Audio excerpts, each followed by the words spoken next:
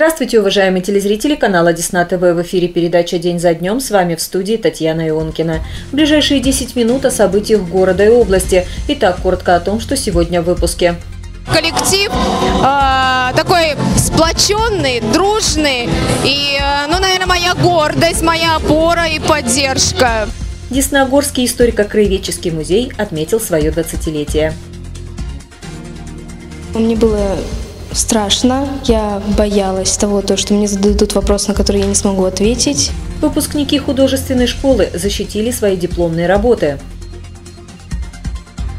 Педагогами проводилась заранее большая работа э, по развитию э, и закреплению знаний о летних видах спорта. Спортивная программа для дошкольников «Мы будем побеждать».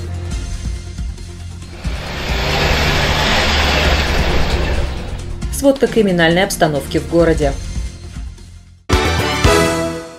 А сейчас об этих и других событиях подробнее. С 14 по 20 мая в стране проходила всероссийская акция «Стоп ВИЧ-СПИД». Смоленская область присоединилась к ней. Все желающие могли анонимно пройти тестирование и узнать свой ВИЧ-статус в передвижном пункте сдачи крови. Также специалисты рассказывали о том, как защитить себя от ВИЧ-инфекции и что делать, если диагноз подтвержден. В 2018 году «Ночь в музее» прошла в России в 12 раз. Уже традиционно в этот вечер Десногорский историко-краеведческий музей распахивает двери для своих друзей. В этом году у нашего музея двойной праздник. Мы расскажем вам, как коллектив принимал поздравления.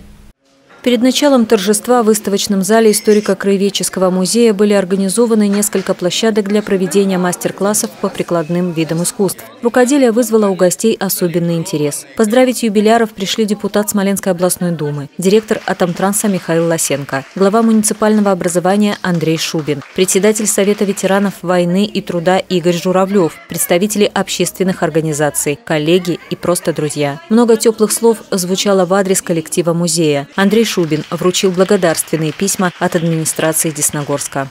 За многолетний добросовестный труд на благо развития музейного дела Демьянова Анатолия Николаевна награждается почетной грамотой.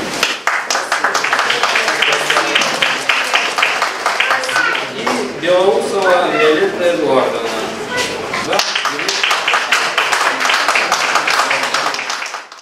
Депутат областной думы выразил мнение, что нашему музею пора расширяться.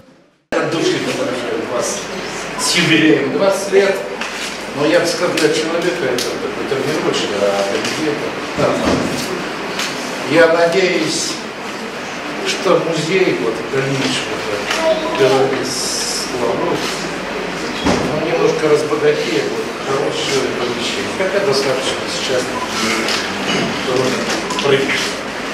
Желаю вам, ваших близких, крепкого здоровья, Спасибо. Руководитель детского театра «Гном» вручила сувенир от коллег из города Заречный. И на некоторое время выставочный зал музея превратился в театральную сцену. И актеры «Гнома» подарили юбилярам трогательный отрывок из спектакля Тамары Василенко «Бабушки тоже были маленькими». Коллеги считают, что работники музея являются хранителями истории для грядущих поколений. В нашем музее собирали наши истоки землю. Э, не только энергетику земли, но и качество земли и той поверхности, где мы жили. А вот сейчас, пройдя уже 20 лет и уже построив не только атомную станцию, да, не только э, город, город, потому что живет сейчас настоящей жизнью уже, э, пущенной в жизнь. И вот сейчас пришло время собирать ту, те самые вещи энергетические. Десногорский музей принимает активное участие в гражданско-патриотическом воспитании юных десногорцев, взаимодействует с ветеранами, поисковиками и школьными музеями.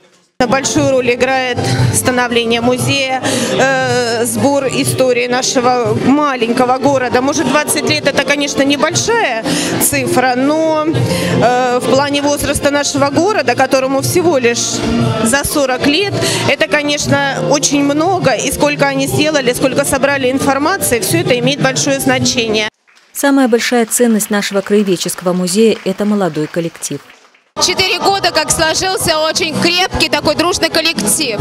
Это хорошо, когда вливаются молодые э, кадры, А, это приносит новую жизнь. А, и, конечно, у нас а, теперь коллектив такой сплоченный, дружный. И, ну, наверное, моя гордость, моя опора и поддержка. Наш историко-краеведческий музей еще очень молод, ему всего лишь 20 лет, но в сравнении с возрастом Десногорска его уже можно считать состоявшимся с богатым багажом истории нашего города. Меньше двух недель осталось до первого единого госэкзамена, который предстоит выдержать нынешним выпускникам.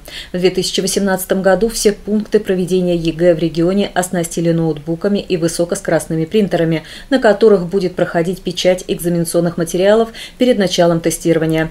Оборудование уже установлено в 40 школах Смоленской области. С помощью компьютера и высокоскоростного принтера все экзаменационные материалы, включая бланки, члены комиссии будут распечатывать прямо в аудитории за полчаса часа до начала испытаний. В среднем печать полных комплектов в аудитории из 15 человек будет занимать не более 20 минут. На случай нештатной ситуации резервное оборудование заменит основную технику. В областном департаменте по образованию объясняют, что новая мера повысит информационную безопасность ЕГЭ, сэкономит средства на доставку экзаменационных материалов на места и снизит нагрузку на организаторов. Казалось бы, только поступили в школу, а уже прошло пять лет, и пора защищать дипломную работу. В этом году документы об окончании художественной школы получили 14 ребят. 18 мая в Доме детского творчества состоялась защита дипломных работ. Ученики художественной школы начинают готовиться уже за несколько месяцев. На защите выпускники должны показать не только то, чему они научились за время обучения, но и свой потенциал. Дети самостоятельно выбирают предмет дипломной работы, тему и преподавателя. Работа над проектом позволяет ученику впервые ощутить себя художником, способным на создание творческого проекта и воплощение его в материале. В составе комиссии три преподавателя – Алена Васильева, Галина Кульцова, Елена Яковлева. Яковлева, заместитель главы Александр Новиков и член Союза художников России Валерий Власов. Кроме традиционных натюрмортов, пейзажей, смешанных техник, в этом году на суд зрителей и преподавателей школы дипломники представили монументальную роспись, роспись по дереву и ткани, витраж. О своих дипломных работах рассказали несколько выпускников. Мне было страшно. Я боялась того, то, что мне зададут вопрос, на который я не смогу ответить. Витраж я выбрала, ну, потому что мне нравится просвет э, через стекла. Я всегда вот вижу витраж, мне очень интересно это все разглядеть. Это очень красивые переливы. Я через художку хочу связать свою судьбу с архитектурой. Это моя мечта. Свою работу я рисовала на ДВП гуашью. Э, тема «Уличные музыканты». Меня очень вдохновила эта тема, она очень интересная. Гуашью я смогла передать эмоции своих персонажей. Обучение в художественной школе дает детям не только возможность освоения навыков академического рисунка и живописи, но и помогает в выборе будущей профессии. Очень приятно смотреть, когда молодежь заинтересована, когда она чем-то увлекается и, значит, отдает часть своей жизни ну, какому-то творческому процессу, в принципе. Хороший уровень, хорошо пишут. Графика хорошая в этом году очень, очень порадовала графика. Вот. Ребята очень порадовали. Все работы выпускников можно увидеть в течение месяца на первом этаже художественной школы. В детских садах нашего города уделяется большое внимание воспитанию здорового образа жизни маленьких десногорцев. Вырасти здоровым, крепким, сильным помогает спорт. Заниматься физкультурой полезно, а заниматься физкультурой в необычной, непривычной и интересной для ребят обстановке вдвойне. 17 мая на стадионе спортивной школы прошло спортивное состязание «Мы будем побеждать». Подробности в нашем репортаже. В городских спортивных соревнованиях принимали участие дети подготовительных к школе групп шести детских садов «Лесная сказка», «Теремок», «Чебурашка», «Мишутка», «Ивушка» и «Дюймовочка». Педагогами проводилась заранее большая работа э, по развитию э, и закреплению знаний о летних видах спорта, о разновидностях э, индивидуальной формы, мячиков, атрибутики для данного вида спорта. И сегодня будет как заключительный этап данной работы. По всему стадиону для ребят были организованы станции. На каждой детям нужно было выполнить определенное задание или пройти эстафету. За выполнение команде вручался конверт с фрагментом картинки, которую ребята должны были сложить, пройдя все шесть спортивных станций. Все участники мероприятия получили грамоты и сладкие призы, что доставило воспитанникам еще большее удовольствие и массу впечатлений. Подобные мероприятия помогают дошкольникам поднять их соревновательный дух, учат действовать в команде и прививают любовь к спорту.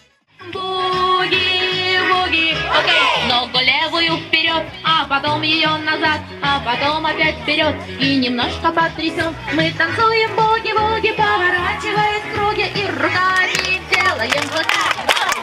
Буги-буги, окей!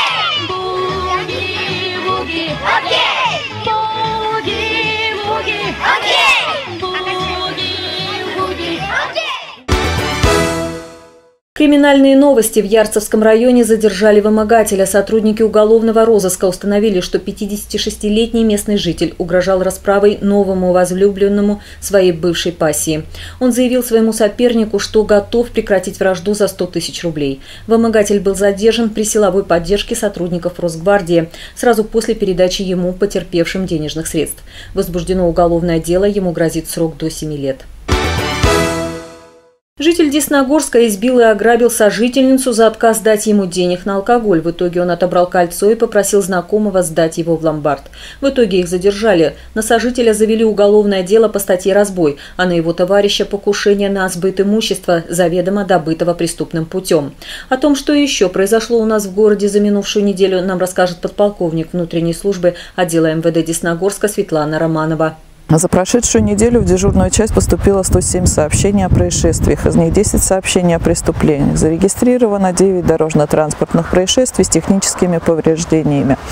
Выявлено 125 административных правонарушений, в том числе 95 нарушений правил дорожного движения, за распитие спиртных напитков, а также появление в состоянии алкогольного опьянения в общественных местах к ответственности привлечены 14 человек.